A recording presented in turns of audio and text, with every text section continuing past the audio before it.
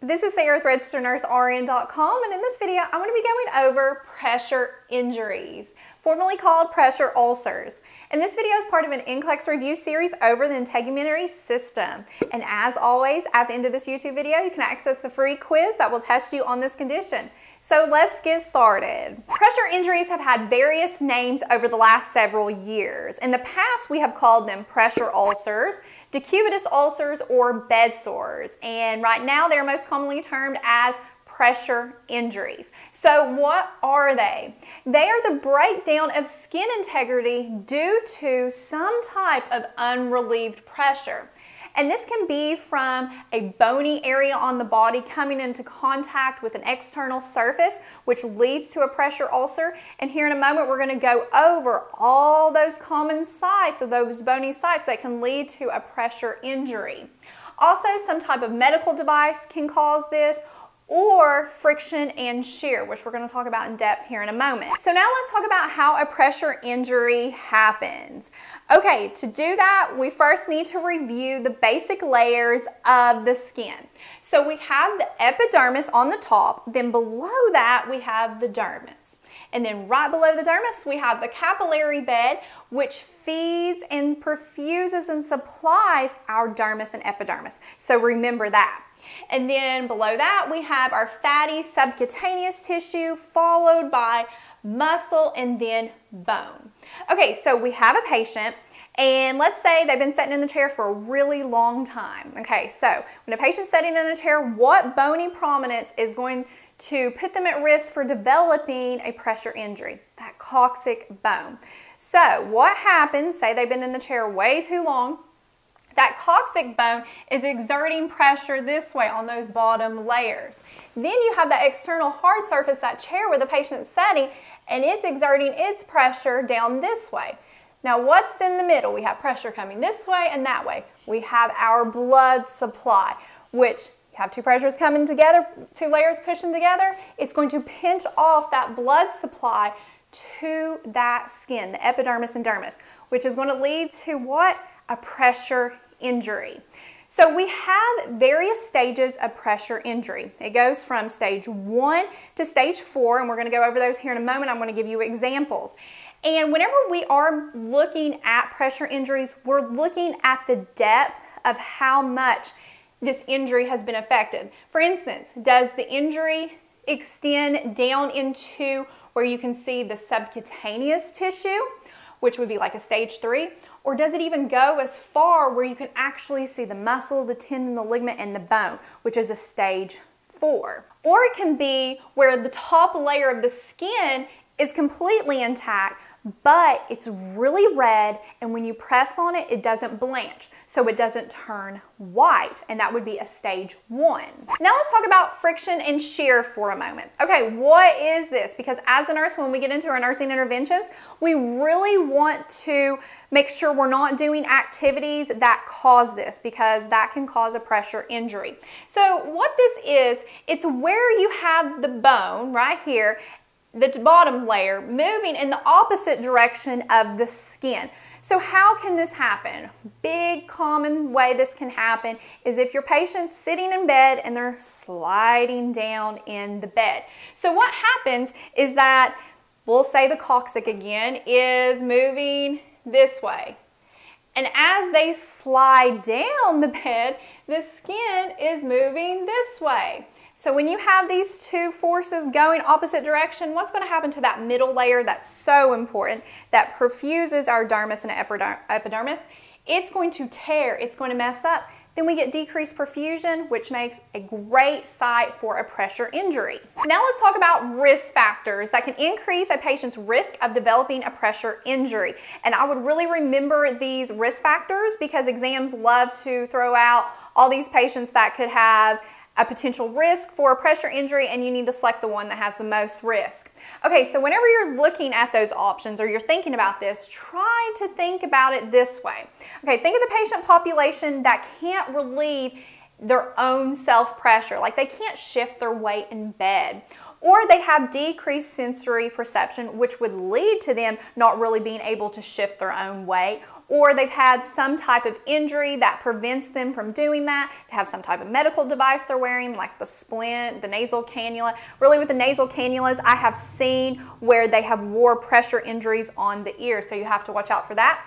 Or they have decreased skin integrity. So, Poor nutrition is definitely a huge risk for developing a pressure injury. So look out for those low weights, low body mass indexes because that decreases our skin integrity. If the patient is immobile, they're just not getting out of bed, they can't move, they can't get up and walk, they're confined to that bed, which requires you to turn them every two hours, they're definitely at risk. They have some type of neuro issue where they have decreased level of consciousness. This could be because they're sedated. We're in a sense causing their decreased level of consciousness because we're treating them for something else. Or they have their labs are thrown off, or they're just not aware of where they're at or they have some type of spinal injury, maybe quadriplegic, something like that, where they can't actually feel that pressure and shift their own weight. Diabetics are at risk for this, so if they are immobile, have neuro issues, poor nutrition, really huge candidate for a pressure ulcer because why is that? Well, diabetics, we know that they have decreased perception of sensory. So patients who don't have diabetes, they can feel, you know, if they step on something with their feet more than a person who has diabetes. They may not know that they've injured their foot and they have decreased perfusion. So their epidermis and dermis isn't going to be as perfused as well as someone who doesn't have diabetes. A patient who is incontinent, this can be of stool or urine if that sets on the skin long. They have that pressure building that increases the risk of a pressure injury. And activities that cause that friction and shear that we just talked about. So preventing your patient from sliding down in the bed. And when you do have to move your patient up in bed, because a lot of times patients are, they get down in the bed, instead of dragging them up in the bed, lifting them and moving them instead of making it where you would drag them because again, the bone's gonna move in another direction, the top layer of the skin's gonna move in the other, you're gonna tear your capillary bed and increase the risk of a pressure injury. Now let's talk about the top sites for pressure injury. And whenever you are a nurse, you're taking care of your patient, you wanna be aware of what position the patient's in and where those bony prominences are at so you can be thinking of, okay, I wanna make sure that they're not having pressure injuries at these locations. And these locations include the heels and the ankles, as well as the hips, the sacral area on the back, the elbows and shoulders, the inside of the knees, along with the occipital area and the ears. Now let's take a little quiz. Okay, we have this patient, they're laying on their left side, so where do you think they're gonna be at most risk for a pressure injury? So whenever we look at this, we need to think, okay, what areas are going to be either coming into contact with the hard surface, that bony prominence, or are they going to be uh, two bony prominences coming together? Because that can also lead to a pressure injury as well. Okay, we'll start from, start from head to toe and work our way down. So the ear, definitely, because laying right there, that's a perfect area for a pressure injury. Next, move down our shoulder. Hard bony area on your shoulder right there can lead to one. And then as we move down our hips, big bony area, that's just a perfect site for a pressure injury. The knees, whenever you're laying in this position, not only with the knee coming into contact with the surface, but the two knees actually coming together can cause that, along with the ankles, which is another site. So the ankles coming together or the ankle laying on the bed. So it would be good to get this patient like a wedge pillow to help prevent that from happening. Now let's talk about staging of pressure injuries. And these stages are based on the National Pressure Injury Staging System. Okay, stage one. This is where the skin is completely intact. So that top layer is not going to be broken. And this area is going to be very red, but the key with stage one that you need to remember is that it doesn't blanch. So if you touched on this red area, it would not turn white, it would stay the same color. And here is an example of a stage one.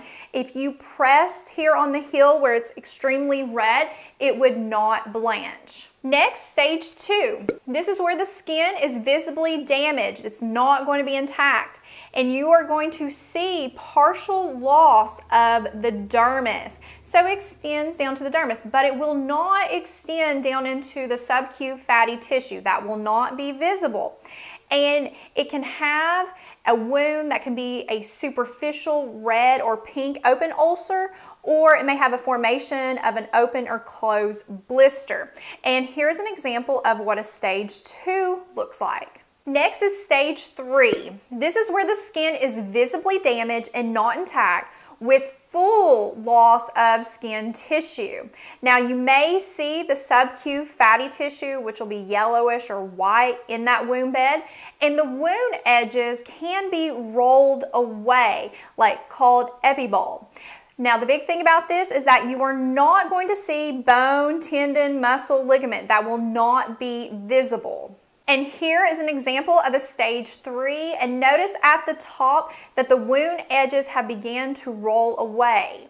And one of the most severe stages of a pressure injury is a stage four. This is where the skin is visibly damaged, of course, and there is also full loss of skin tissue.